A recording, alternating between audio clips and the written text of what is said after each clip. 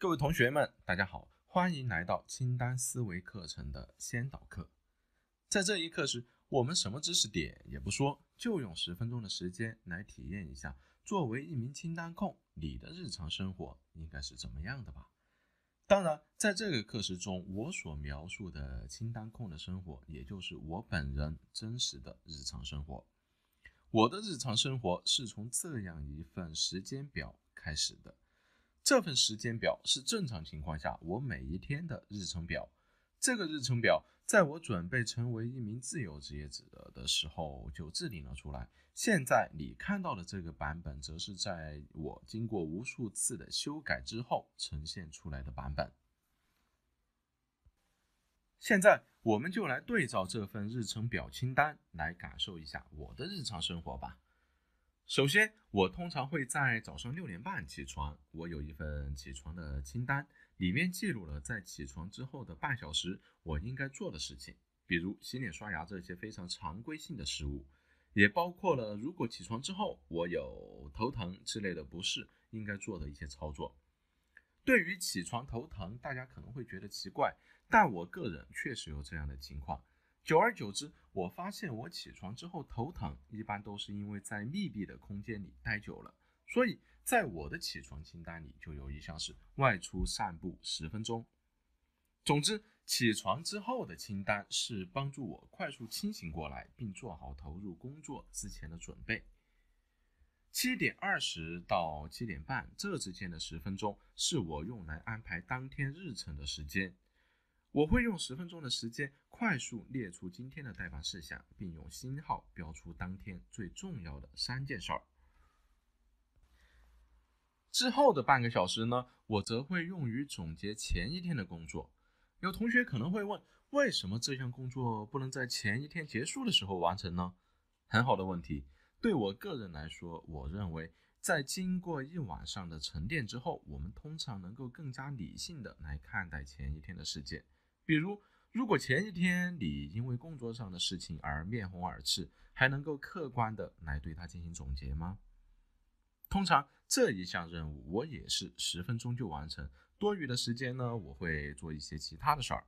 在这十分钟里，我会用三言两语对前一天的任务做一个简单的总结，并且把重要的总结和心得列入到一份单独的清单当中。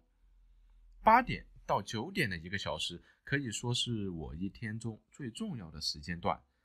在这一个小时里，我的任务就是思考在这一天里我所有的重要工作。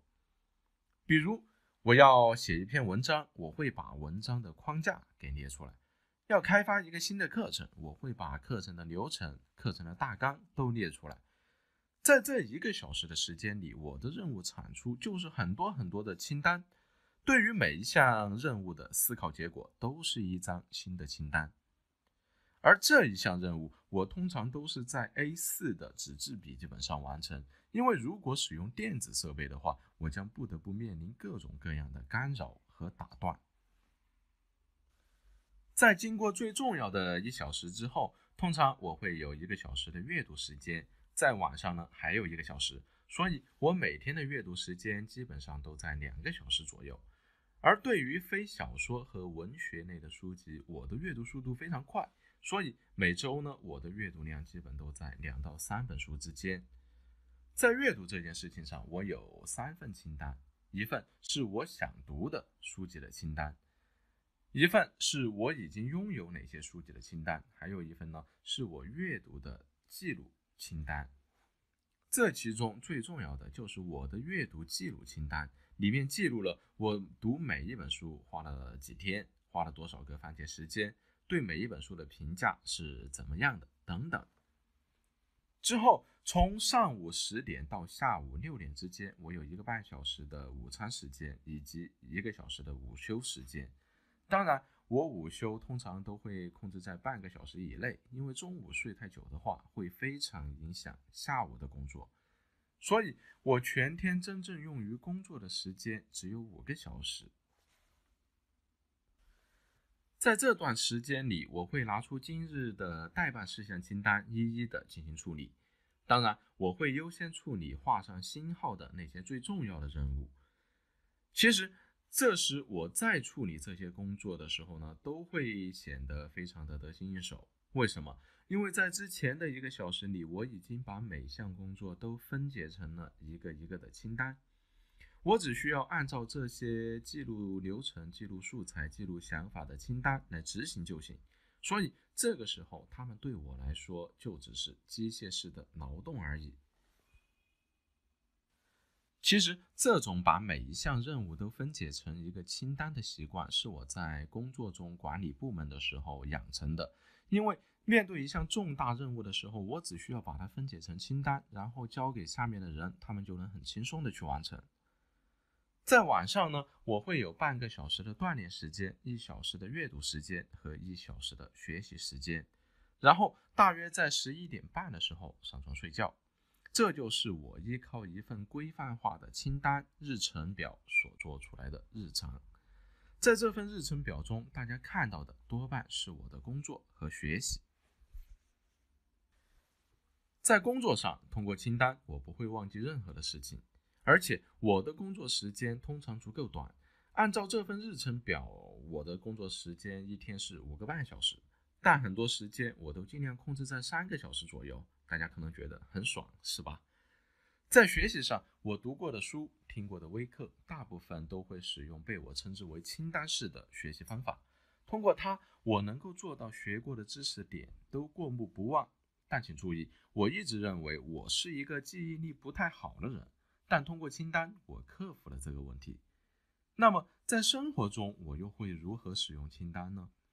生活上，我有无数的清单，旅行需要的物品清单，还有购物清单等等，这些大家都知道的清单，我们就不说了，说一些比较另类的吧。我有一份清单，记录了家里大部分的物品，这份清单呢，非常的详细，而且被层层分类。比如客厅、卧室这些是大的分类，客厅里面又有茶几、壁柜等等这些清单。然后螺丝刀，哎，这是放在壁柜的，OK，这是一个清单的选项。我用这样的方式整理出了家里的大部分物品，让它们各得其所。这样有什么用呢？首先，每一项物品都有它应该放置的地方，所以这样不会凌乱。其次，当我需要找一个物品的时候，我可以打开这份清单，直接搜索或者看一下照片，就知道它在哪个柜子或者是抽屉里。其次，我有一个可爱的儿子，小名嘟嘟，今年三岁。对于嘟嘟的教育，我列了一份底线清单，里面记录了一些像这样的事情：绝对不能让嘟嘟上补习班，绝对不给嘟嘟交择校费上学。为什么会有这样一份清单呢？因为随着嘟嘟年龄的增加，我之前认为绝对不能做的事情可能会随之而改变。我希望这些事情我永远都不要去触碰，所以趁着还没有改变，我就列了一份这样的清单。另外，我还列出了家里人喜欢的物品清单、纪念日清单，这样也不会因为像忘了结婚纪念日这样重要的事情而跪主板。当然。我的清单当中还有很多小的清单，比如在门口我贴了一份出门必带的物品清单，这样绝对不会忘记带钥匙。在我的书桌上，我列出了极简书桌的清单。我在完成每天的工作之后，我就会把它收拾到还原至这个最简单的状态。我电脑和手机上装了哪些软件，我都有一份清单。这样重装系统之后，我能够一个不漏的安装上这些软件。那么最后，我们用一三个词来总结一下，作为一名清单控是一种怎样的体验？用三个字来形容的话，那就是爽到爆。现在，清单这项工具已经被我升级和固化成了一种思维和习惯，在我的工作中很少有忘掉事情或者是物品的事件发生，而我的工作也被清单大大的简化。对我来说，清单让我变得更加的简单、自律、踏实和靠谱。因为所谓的靠谱，就是凡事都有交代，对吧？通过清单，你也可以做到。那么，在下一课时，我们就一起来重新认识一下清单吧。